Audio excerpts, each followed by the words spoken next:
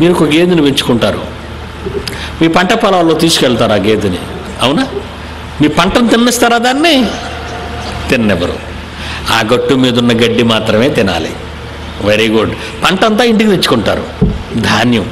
అంతే కదండి? ధాన్యం అంతా ఇంటికి తెచ్చుకుంటారు. గడ్డి ఏం చేస్తారు? మళ్ళీ ఆ పశువుకే వేస్తారు. మీకు పనికిరాదు కదా? మనం గడ్డి తినం కదా? కానీ గడ్డి దానికి ఇస్తాం. ఆ తర్వాత దాన్ని వీళ్ళు తీసుకెళ్తారు దాన్ని వాడేస్తారు పొట్టు ఆ ధాన్య పొడి ఆ పిండి అదేం చేస్తారు? అది మళ్ళీ పశువుకి వేస్తారు. లోపల తెల్లగా ఉన్న గింజ బియ్యం గింజ అది మనకి. మళ్ళీ అది కడుగుతారు. కడిగినప్పుడు ఆ కడిగిన తాలూకా కుడుతో కడుగు అంటారు చూసారా? ఆ కడిగిన నీళ్ళు అయ్యేదానికి మళ్ళీ అది మీకు ఎదికే మరి ఉడికి రాన్నం మీకు. వార్చిన తర్వాత వచ్చిన గంజి అది దానికే. ఇవన్నీ నీకు పనికిరావు కనుక దానికి పడేశావు. కానీ అది ఏదైనా పనికిరాంది నీకు ఇస్తుందా? స్వచ్ఛమైన సంపూర్ణమైన పవిత్రమైన తెల్లని రంగులో బలమైన పాలిస్తుంది. ఇస్తుందా? అవి తెచ్చుకుంటారు. గడ్డ పెరుగు పెట్టుకుంటారు. వెన్న తెచ్చుకుంటారు వెన్న తీస్తారు నెయ్యి తీస్తారు. మరి ఎంత ఆనందంగా తీసుకుంటారు దాన్ని? నీకు పనికిరానివన్నీ దానికి పడేశానని ఏ రోజైనా అనుకుందా? ఎంత మంచిదంటది ఎందుకంటే దేవుడు మీకు ఇచ్చాడు దాన్ని. భూమి మీద జంతువులన్నీ నీవే అన్నాడు. అందుకే నీకు పనికిరానివి నీకు చెత్తగా ఆటంకంగా పనికిరాని దానిగా నీ ఆ కాళ్ళకి ఎక్కడో అడ్డు తగులుతుందో ఏమని అది తీసుకుంటుంది. నీకు మంచి పాలిస్తుంది నీ దేవుడు అంతే కదా. ఈ ప్రకృతి అంతే కదా. ఈ ప్రకృతిలో స్వచ్ఛమైన గాలి. ప్రకృతిలో స్వచ్ఛమైన వర్షం నీళ్ళు స్వచ్ఛమైన పంట వేరుశనక్కాయ పక్కన మంచిది. నిజంగా ఏ కార్పెంటరు అంత చక్కగా చేయలేడండి ఆ పెట్టి. చిన్న పెట్టి. మూడు పలుకులు పెట్టి రెండు పలుకులు పెట్టి ఒక పలుకు పెట్టి. ఉంటుందా? వేరుశనక్కాయ. ఏమండి? మీరు పల్లీలు అంటారా దాన్ని? వేరుశనగకాయ అంటాం. ఏమండి? మరి ఆ చక్కటి పెట్టి దానికి. మీరు తినేస్తారా? వేరుశనగ వేరు వేరుశనగ పలుకులు తింటారు. మరి విత్తనాలు ఏం చేస్తారు? విత్తనాలు కూడా త- పగలగొట్టే కదండి. ఆ పెట్టి తీసేసి జల్లుతారు. వేరుశనగ పల్లీలు మళ్ళా పొలంలో జల్లుతారు. మళ్ళా దానికి పెట్టొస్తుందా? మళ్ళా వేరుశనగ పలుకులకు పెట్టొస్తుందా? మళ్ళా భూమి మీద లోపల ఎన్నో పలుకులు ఆ పలుకులకు ఎన్నో పెట్టెలు. ఎంత మంచి దేవుడు అండి ఆయనకి అన్యాయం చేయాలని ఎలా అనిపిస్తుందండి మీకు ఎలా అనిపిస్తుంది ఆయనకి అన్యాయం చేయాలని? అందుకే దేవుడు నిన్ను కోరుకోతున్నాడు ఈ రాత్రి. ఏంటో తెలుసా? నా కోసం నువ్వు పని చేయవా? కర్ణాటక రాష్ట్రం ఉంది. ఏమండి? మరి ఎన్నో లక్షల మంది ఉన్నారు కర్ణాటక వాసులు. మరి వాళ్ళందరికీ వెళ్ళి దేవుని మనసు చెప్పరా మీరు వెళ్ళి? అక్కడ క్యాసెట్స్ ఉన్నాయి అక్కడ పుస్తకాలు ఉన్నాయి అక్కడ వీసీడీలు ఉన్నాయి. నీకెవరు నేర్పించిన అవసరం లేదు. అందులో నేను మాట్లాడిన ఎన్నో మహాజ్ఞాన సంగతులు అవి చక్కగా పెట్టుకొని చూడండి. బాగా నేర్చుకోండి. బాగా మీ బైబిల్ చదువుకోండి. పక్కనున్న పల్లికి వెళ్ళండి. ఆ పక్కనున్న పట్టణానికి వెళ్ళండి. ఆ పక్కనున్న రాష్ట్రానికి వెళ్ళండి. దేవుని మాటలు చెప్పరా? దేవుని మనసు చెప్పరా? వాడి కోసం పొంచి ఉన్న ప్రమాదాన్ని చెప్పరా? ఆ దుష్టుడి గురించి ఆ సర్పం గురించి మీరు చెప్పరా? సమాజాన్ని పాడు చేస్తుందండి. సమాజాన్ని నాశనానికి నడిపిస్తుందండి అది. మరి మీరు చేసే పనేంటి? మీరు ఏ పని చేయరా? ఏ పని చేయకపోతే ఎలా? చేయాలా ఉందా? చేయాలి. నీకు నీకు మీకు ఇష్టమైనవన్నీ ఇచ్చాడా దేవుడు? దేవుడు మీకు ఇష్టమైన ఇచ్చాడు? చిన్న కళ్ళు గుడ్డు పండు అంతేనా? చిన్న కళ్ళు గుడ్లు ఆకాశాన్ని చూస్తున్నాం ఆకాశంలో ఉన్న నక్షత్రాలను చూస్తున్నాం. అమ్మ బాబో ఎంత మంచి కళ్ళు. అవునా? అన్నీ కనబడుతున్నాయి. ఇంకా? ఇదే రంగు అనగానే ఎరుపు అంటావు. ఇదే రంగు నీలం అంటావు. ఏ రంగు పసుపు? ఏంటి ఆ నల్ల గుడ్డులోనే ఇన్ని రంగులను పసిగట్టే శక్తి దేవుడు పెట్టాడా? అవును. ఒక చిన్ని కంటిలో ప్రకృతిలో ఉన్న రంగులు ప్రకృతిలో ఉన్న అందాలు చూసే శక్తి పెట్టాడు.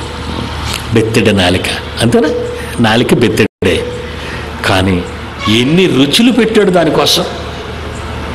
మీకు నాలుగు పెడతానని తెలిసి దేవుడు నాలుగుకు అవసరమైన ఎన్నో రుచులు ప్రకృతిలో పెట్టాడు ఆయన. మీ అవయవాలు. వాసన. ఎన్ని వాసనలు విరికిడి ఎన్ని శబ్దాలు. శరీరములో ప్రతి అవయవానికి అవసరమైన ప్రతి దానిని నువ్వు లెక్కింపలేనంత విస్తారమైనంత సంపద ప్రకృతిలో మీకోసం తన పిల్లల కోసం పెట్టాడు.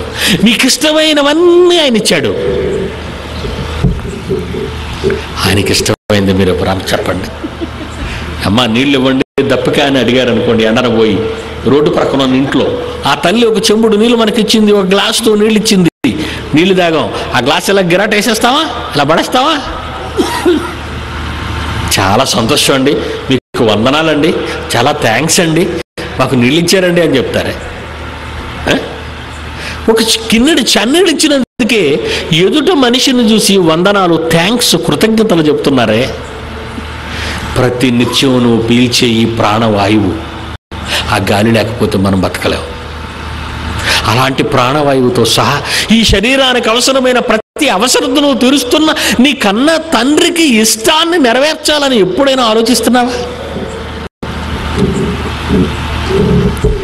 మరి మీకు పరలోకం ఎలా ఇస్తారు చెప్పండి? చచ్చిపోతే పరలోకానికి ఎలా వెళ్తారు? ఏమండి? పని చేస్తే కదండి ఎవరైనా డబ్బు ఇస్తారు కూలి చేస్తేనే పని పొలంలో వెళ్ళి పని చేస్తేనే కదా కూలి డబ్బులు ఇస్తారు ఏ పని చేయకుండా జీతం ఇవ్వడని ఎవరిని అడుగుతారు? ఏ పని చెయ్యని నీవు భూమి మీద ఏ ఒక్కరిని ఏమీ యాచించలేవే అడగలేవే. ఏ పని చేయకుండా నీవు పరలోకానికి ఎలా వెళతావు మరి? ఎలా చేర్చుకుంటాడు ఆయన? చేర్చుకోడే. చచ్చిపోయినంత స్వర్గస్థులైరని మీరు అనుకుంటే అయిపోద్దా? చచ్చిపోయినందరూ స్వర్గానికి పోతున్నారని అయిపోతుందా? ఈవేళ పండగ రోజు చచ్చిపోయాడండి పరలోకం ఓపెన్ అయిపోయి ఉంటుందని గేట్లు తీసేస్తుంటాయి అనుకుంటున్నారా? పండగ లేదు పబ్బము లేదు. ఏ రోజు చచ్చిపోయినా దేవుని పని చేయని వాళ్ళు పరలోకానికి వెళ్ళరు. చేయాలండి ఇన్నిచ్చిన తర్వాత దేవుడు నిన్ను అడిగినప్పుడు నువ్వు దేవుని పని చేయవా? వాటిని చేయడానికని ముందుగా సిద్ధపరచబడిన సత్క్రియలు చేయుటకై మనము క్రీస్తు ముందు సృష్టింపబడి ఆయన చేసిన పని అయి ఉన్నాము అని చదువుకున్నారు. రెండు పదిలో. మరి దేవుని పని చేయవలసిన మీరు ఎవరి పనిలో ఉన్నారు చెప్పండి. ఉదయం వేస్తారు ఓకే పొలానికి వెళ్ళారు వచ్చారు. సాయంకాలం అయిపోయింది వచ్చారు. పండుకుంటూ పోయారు. మళ్ళా తెల్లవారులు వచ్చారు మళ్ళా పనికి వెళ్ళిపోయారు. మరి తండ్రి పని ఎప్పుడు చేస్తారు? తండ్రి పని ఎప్పుడు చేస్తారు? పన్నెండు సంవత్సరాలు యేసుప్రభుకి. పండక్కి తీసుకెళ్ళింది తల్లి జాతర లాంటిది. ఎరుశలేములో జాతర జరిగేది. ఆ జాతరకు తీసుకెళ్ళింది. అప్పుడు యేసుప్రభు ఆ జాతరలో ఉన్నాడు. రెండు రోజులు ప్రయాణం వెళ్ళిపోయారు తల్లిదండ్రులు మరియమ్మ యోసేపు. యేసుప్రభు కనబడలేదు. ఏది యేసుప్రభు కనబడలేదు అంటే మళ్ళీ వెనక్కి వచ్చారు. వెతుకుతూ వెతుకుతూ దేవాలయంలోకి వెళ్ళేసరికి ఆయన అక్కడ శాస్త్రులను పరిచయులను ధర్మశాస్త్రోపదేశకులను జ్ఞానవంతులను చెప్పుకునే వాళ్ళందరూ ప్రశ్నలు అడుగుతున్నాడట ఆయన. పన్నెండు సంవత్సరాల్లో ఎంత మంచి గుణం వచ్చిందండి మీరు? మీ పిల్లల్ని అలాగే పెంచుతున్నారా? మీ పిల్లల్ని బాగా పెంచుతున్నారా? పెంచకపోతే మీకే తలపోటు. దేవుడు మిమ్మల్ని అడుగుతాడు. ఇప్పుడు చెప్పాను కదా గర్భఫలము దేవుడిచ్చు బహుమానం. మరి పెంచరా? యేసుప్రభు దగ్గరికి వెళ్ళారు. లోకాసువార్త రెండో అధ్యాయం నలభై తొమ్మిదో వచ్చిన యేసుప్రభు ఏమంటున్నాడు చూడండి.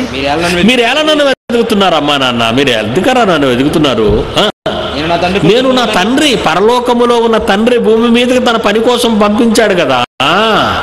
నేను నా తండ్రి పని మీద ఉండవలనని మీరు ఎరుగరా?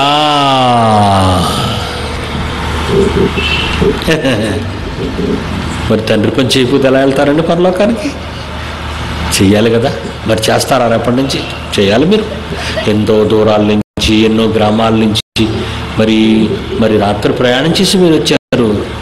చాలామంది ఐదు రోజులు బట్టి వస్తున్నారు మరి మంచి మాటలు వింటున్నారు. మీకు అందరికి అబ్రహాం గురించి తెలుసు కదా? అబ్రహాం గురించి విశ్వాసులకు తండ్రి. ముసలాడైపోయాడు పండు ముసలాడైపోయాడు. శారా గర్భం ఉడిగిపోయింది పిల్లలు పుట్టరిక. దేవుడు ఇచ్చాడు వాళ్ళ ఇంటికి. ఏ? భోజనం పెట్టాడు. మంచి భోజనం. మంచి గోరు మంచిది మరి కోడిని కోసాడు లేగదోడను కోసాడు పెట్టాడు. అప్పుడు దేవుడు ఒక మాట ఇచ్చాడు. ఏంటో తెలుసా?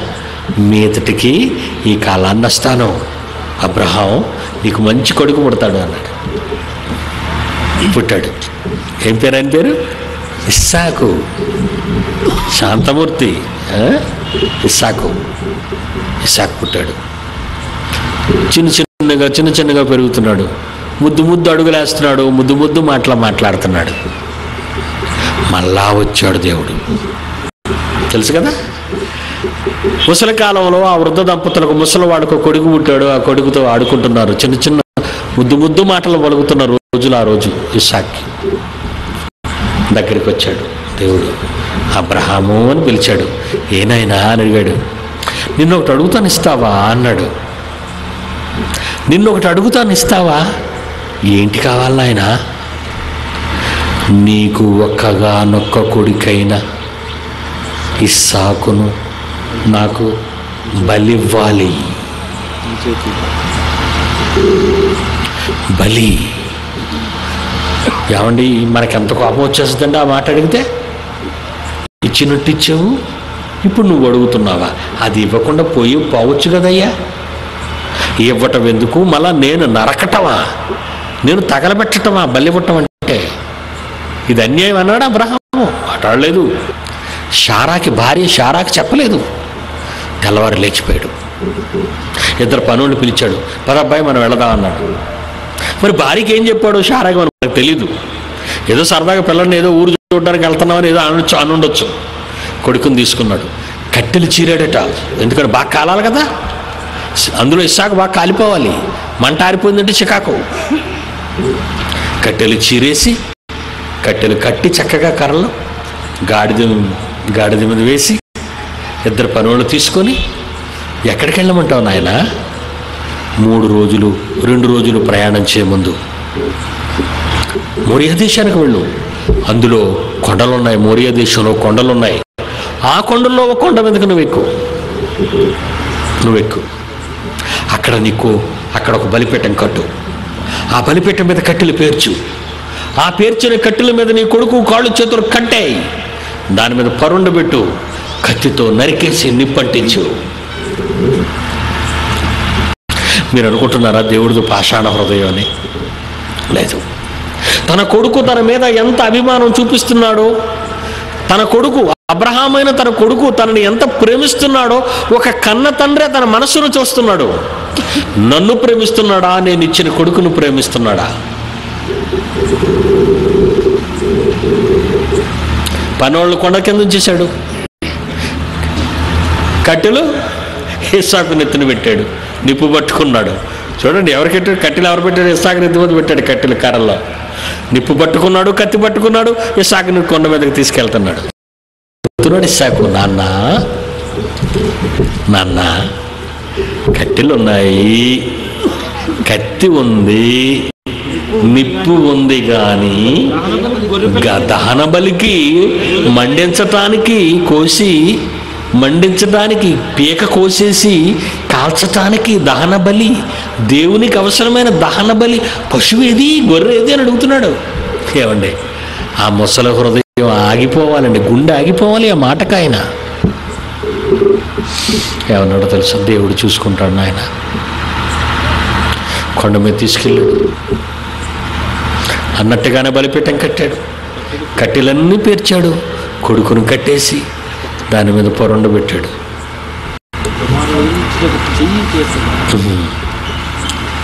అదంతా చూస్తున్నాడు దేవుడు. అదంతా చూస్తున్నాడు. రోమిలకు రాసిన పత్రిక పన్నెండవ అధ్యాయము ఒకటో వచ్చిన చూడండి రోమిలకు రాసిన పత్రిక పన్నెండో అధ్యాయం మొదటి వచ్చును కాబట్టి సహోదరులారా పరిశుద్ధమును పరిశుద్ధమును దేవునికి అనుకూలమునైన సజీవ యాగంగా మీ శరీరాలను. దేవునికి ఇవ్వండి అన్నది చూడండి అక్కడ మీ చేతులతో మంచి దేవుని పనులు చేయండి. మీ కాళ్ళతో దేవుని పనుల కొరకు నడవండి.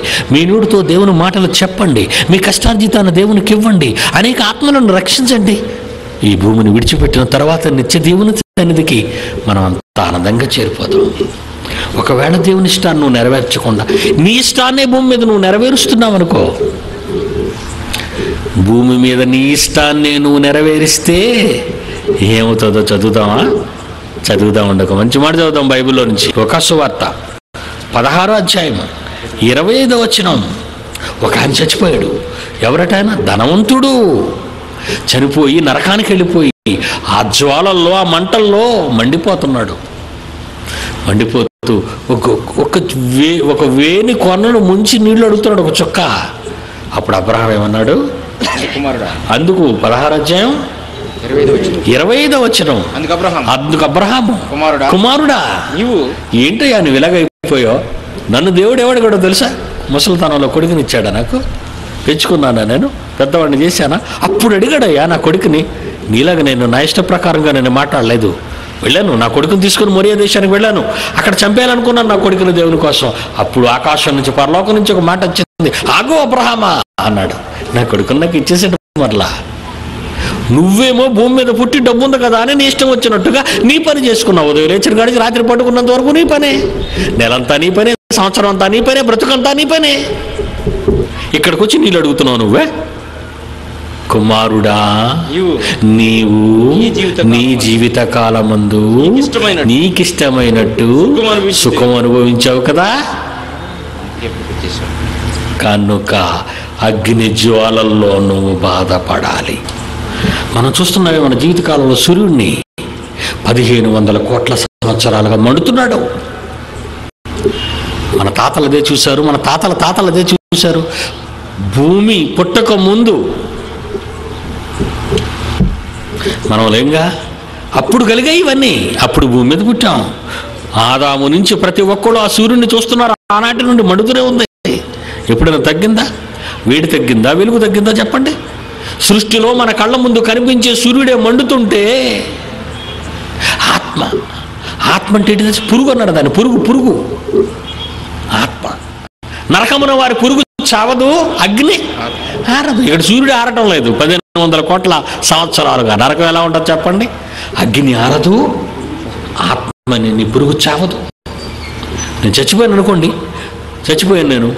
సుందరరావు గారిని ఏం చేస్తారు? చూడడానికి వస్తారు మీరు. ఎక్కడ ఆయన ఎక్కడ ఉన్నాడు ఆయన లేడు వెళ్ళిపోయాడు.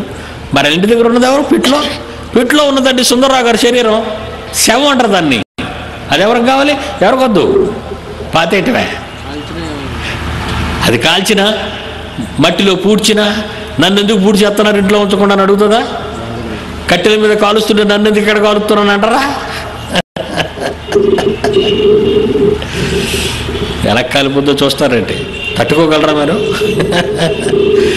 సెంట్లు వాడుతున్నాం పౌడర్లు వాడుతున్నాం ఎన్ని వాడుతున్నాం అంటే దీనికి ఎంత తిండి పెట్టాం ఎన్ని వేల గొర్రెలు తినేసి ఉంటాం మన జీవితకాలంలో అవునా? ఎన్ని లక్షల కోళ్ళు తినేసి ఉంటాం ఎన్ని చెరువులు నీళ్ళు తాగేసి ఉంటాం ఒకళ్ళు ఒకరు ఒకరి గురించి చెప్తున్నాను.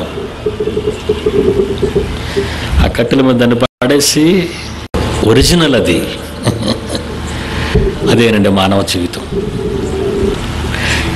ఈ కట్టెల మీద కాలుస్తున్న ఈ దృశ్యాన్నే మనం చూడలేకపోతే ఈ కట్టిన ఈ దేహాన్ని మనం పోయిన తర్వాత ఆత్మ అది ఆ నిత్యాగ్ని దండనలో అరవై ఏళ్ళు చేసిన పాపాలకు కాలవు అరవై ఏళ్ళు చేసిన పాపాలకు కోట్ల సంవత్సరాలు కాలాలు నువ్వు.